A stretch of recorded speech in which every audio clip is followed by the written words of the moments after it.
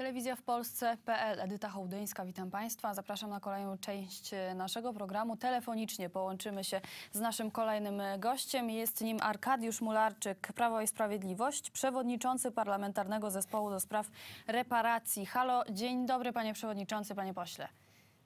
Dzień dobry, witam serdecznie.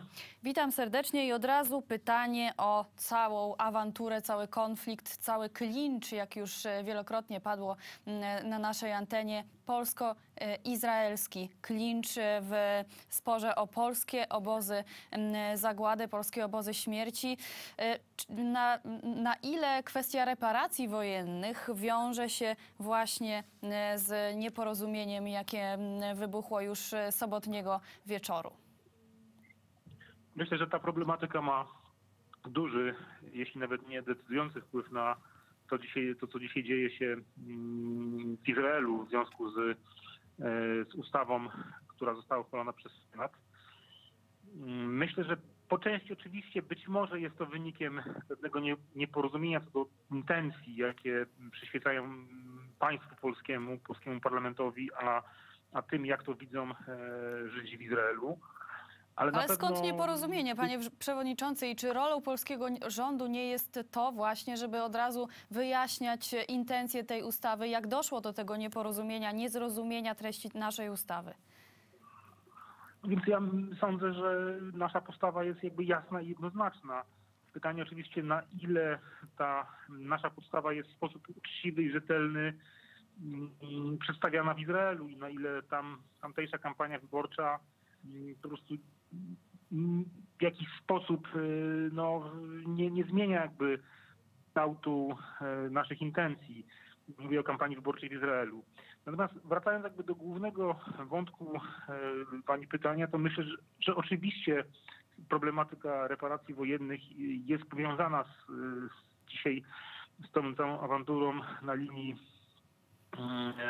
Warszawa Izrael, dlatego że problematyka nie, potencjalnych roszczeń odszkodowczych e, obywateli żydowskich, która cały czas przecież tli się, bo przecież wiemy o uchwalonej ustawie, mm, przyjętej ustawie w kongresie.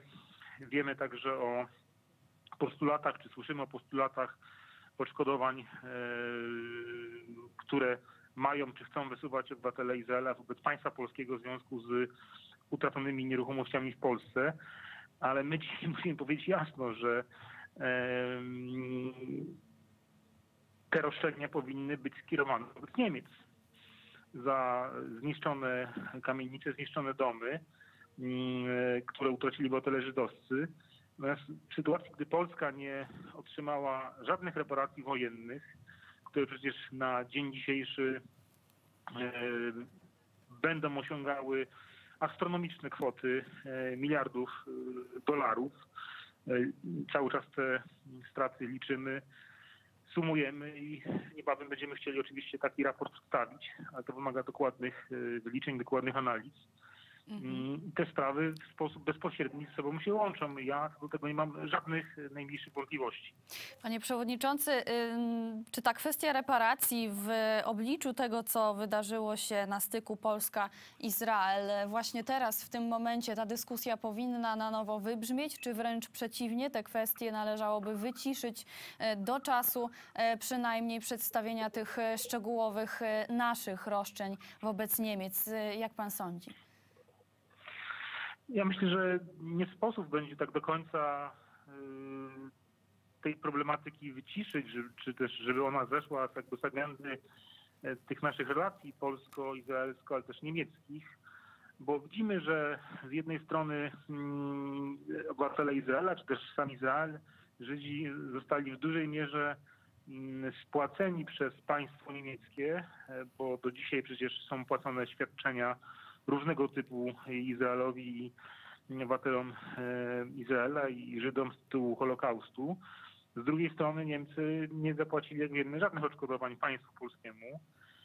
I dzisiaj właśnie na tym tle i na tym gruncie dochodzi do pewnych napięć, pewnych konfliktów, bo ja powiem w ten sposób, no, jeśli Niemcy e, zapłacą Polsce reparacje wojenne, a dzisiaj przecież tylko według takich prostych przeliczeń wartości złotówki, wartości dolara mm, z 39 czy 45 roku, wiemy, że są to kwoty rzędu 850 miliardów dolarów, tak, licząc, przeliczając po prostu te, te kwoty w sposób taki prosty, no to y, nawet jeśli te roszczenia y, żydowskie są wobec państwa polskiego, to one po prostu powinny być skompensowane z kwotami związanymi y, z polskimi roszczeniami reparacyjnymi wobec Niemiec. I ta sprawa przez lata była chowana pod dywan.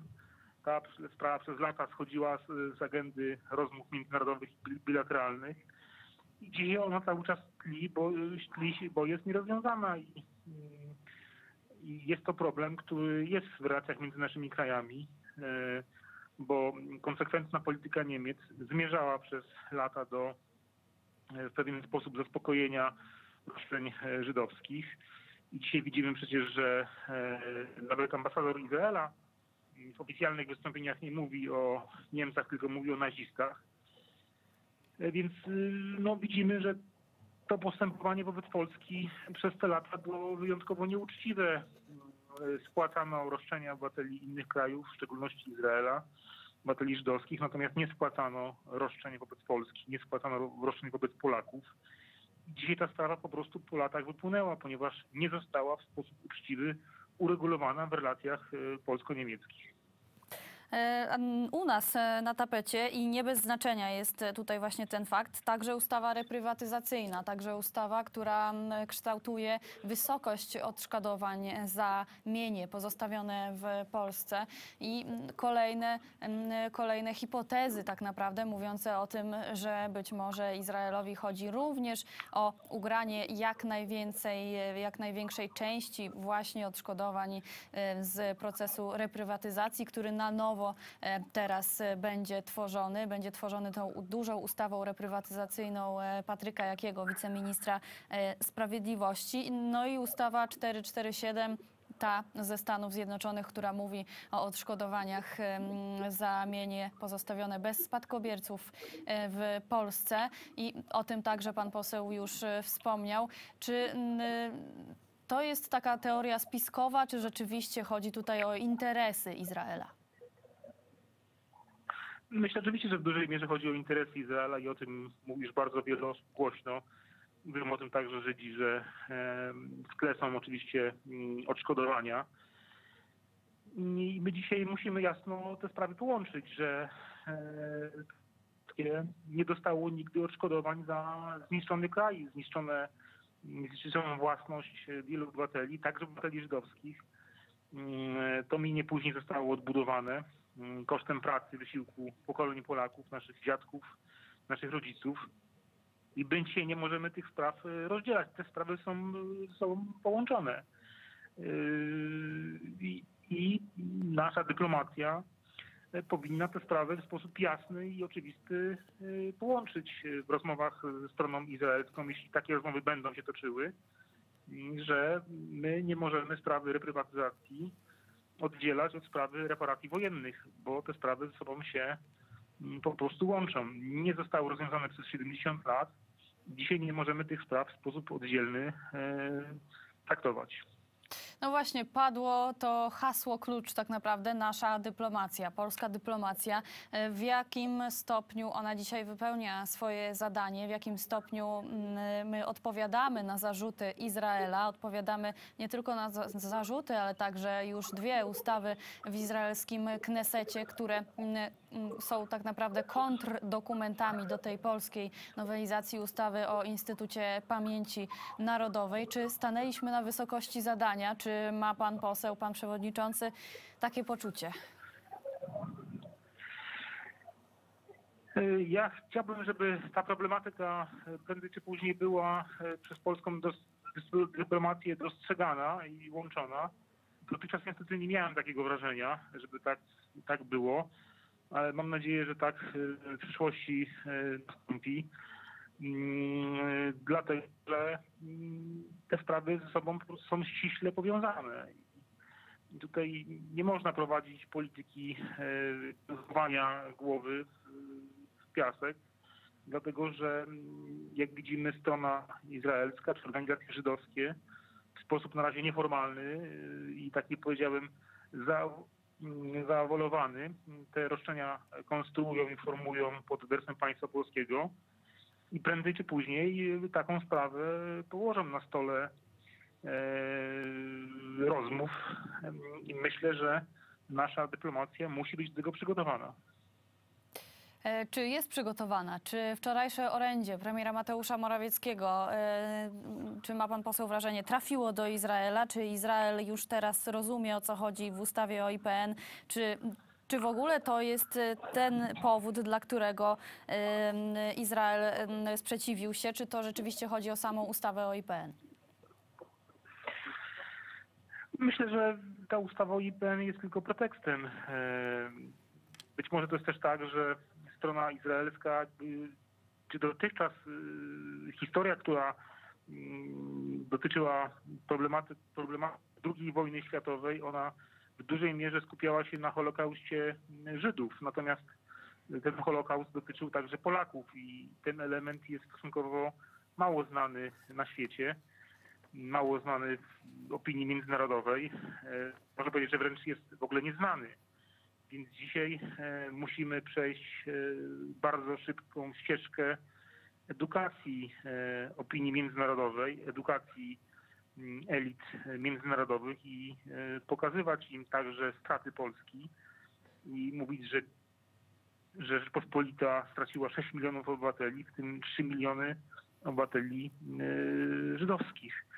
Te sprawy powinny być łączone i powinny być e, na stole negocjacyjnym, czy też mm, na tych różnych stołach, gdzie rozmawia się o, o tej problematyce, pokazywany w sposób e, wspólny i jako jeden problem nierozwiązany po II wojnie światowej. Jak e, pan ocenia długotrwałość tego procesu? Czy to jest proces, e, ten dialog i to wyjaśnianie, to, ta obecność naszej dyplomacji teraz na arenie międzynarodowej, to jest coś, co uda się załatwić w tydzień, dwa, w rok, dwa, czy być może to jest nawet proces na dekady? To jest oczywiście trudne pytanie, bo widzimy, że e, było dużo niezrozumienia, jest dużo niezrozumienia mm, opinii międzynarodowej. No przecież sformułowanie polskie obozy, e, ono funkcjonuje od lat. Wielu, wielu lat już to funkcjonuje. Więc widać, że mm, inne narody, inne kraje w sposób skuteczny kształtowały swoją wizję, swoją koncepcję historii. My niestety byliśmy w tym czasie nieobecni tej dyskusji. Musimy dosyć szybko nadrobić te zaległości. Natomiast jak długo ten proces negocjacyjny będzie trwał, na pewno myślę, że, że długo. E, Po pierwsze, musimy być dobrze do niego przygotowani. Musimy mieć dokładne wyliczenia e, i e, musimy pokazać, że mm, Polska nigdy nie dostała reparacji wojennych od Niemiec. Obywatele polscy byli dyskryminowani, jeśli chodzi o oświadczenia rentowe, odszkodowania, o kompensację ich, ich strat y, moralnych, y, o kompensację jakby strat y, życia dla, dla, dla kraju polskich obywateli. I, i e, no, my dzisiaj w pewien sposób musimy te wszystkie negatywne tendencje, które zaszły już w polityce międzynarodowej, odwrócić. Bez tego, bez tego no, niestety będzie nam bardzo trudno przekonywać do, do swoich racji. Arkadiusz Mularczyk, Prawo i Sprawiedliwość, przewodniczący parlamentarnego zespołu do spraw reparacji wojennych. Bardzo dziękuję za tę rozmowę. Dziękuję serdecznie, do widzenia. Szanowni Państwo, to wszystko. W tej części naszego programu już za chwilę po krótkiej przerwie kolejna rozmowa.